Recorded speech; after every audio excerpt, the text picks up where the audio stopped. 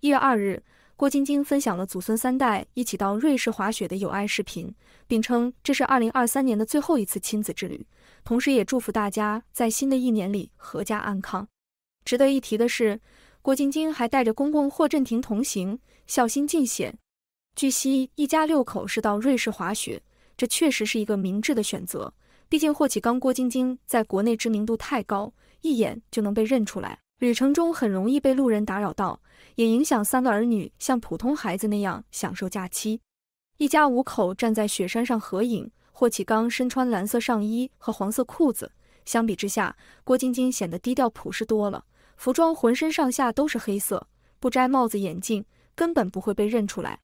拍照时，郭晶晶还用手扶着霍启刚的手臂，细节里都是爱意满满。长子霍中熙身高已经快到爸爸的肩膀位置，小女儿超过了爸爸的腰间。据悉，小女儿是在二零一九年一月一日出生的，所以刚过完五岁生日。一家人在车厢里合影，霍启刚与郭晶晶相向而坐，霍震霆则和三个孙子孙女在一起享受天伦之乐。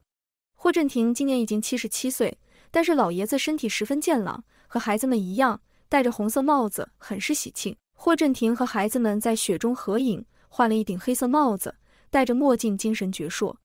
霍中熙身高已经超过了爷爷，霍中言和霍中仪站在爷爷的跟前，如同两个洋娃娃。从中也能看出霍震霆并不会重男轻女。郭晶晶还大方晒出了三个儿女的高清正脸，兄妹三人如同饼印，简直就是一个模子刻出来的。尤其是下半张脸，用一模一样来形容都不为过。不知是不是灯光的原因，长子的鼻子被拍得特别大。两个妹妹虽然长得很像哥哥，但是看起来都比哥哥清秀不少。最小的妹妹对着镜头比剪刀手，模样十分乖巧。郭晶晶还大方秀恩爱，分享了和霍启刚的同框照，两人戴着圣诞帽出镜。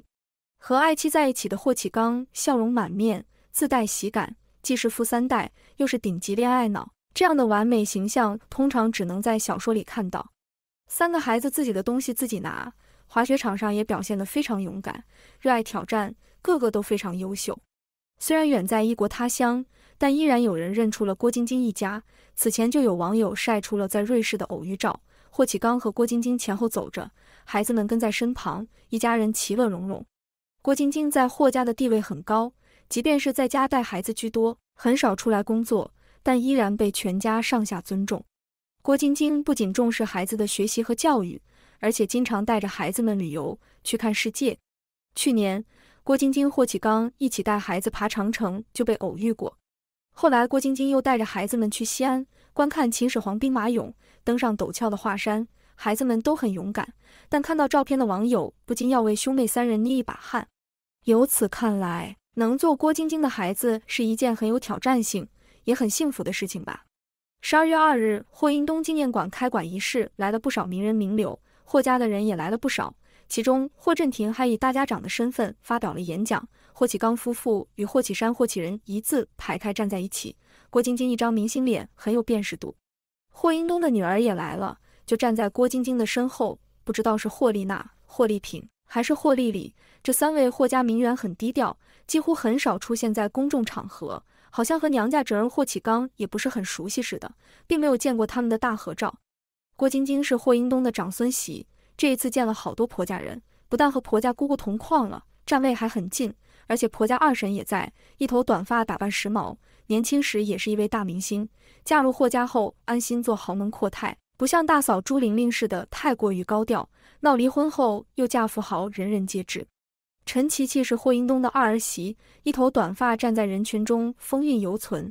毕竟颜值与身材在这放着，年轻时也是小有名气的明星，再加上保养得当，和老公一直恩爱有加。她的儿子霍启忠、霍启文也来了，就站在她前面。不过女儿不在家族合影里。霍思伟是霍家长房里的长孙女，也是霍启刚的堂妹，平日里活跃在豪门圈，继承了明星妈妈的盛世美颜。长得清秀又漂亮，还有自己的事业，也是才女一枚。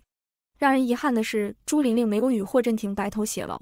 她和豪门前夫离婚后，转身又嫁给另外一个富豪，以至于两个儿子到现在都是大龄剩男，没有结婚。估计都是受到了父母的影响。毕竟父母离婚受伤害最大的是孩子。好在大儿子霍启刚三观很正，和郭晶晶的婚姻也很幸福。霍英东大房子，孙罕同框，儿媳陈琪琪风韵犹存，孙媳郭晶晶有辨识度。他们俩人虽然不姓霍，但都是名人。郭晶晶比二婶名气还要大，经常活跃在体育圈与时尚圈，传奇人生与婚姻让人实名羡慕。陈琪琪、郭晶晶都是有福气的女人，遇到疼他们爱他们的阔少，为夫家生育的子女也都很优秀。霍家的延续全靠他们，只是可惜了朱玲玲了，没有坚守到最后。为了自己的感情，让三个儿子受伤。霍英东财产争夺战的主要涉及人物包括霍英东的第二任妻子冯坚妮、第三任妻子林淑端以及他们的子女们。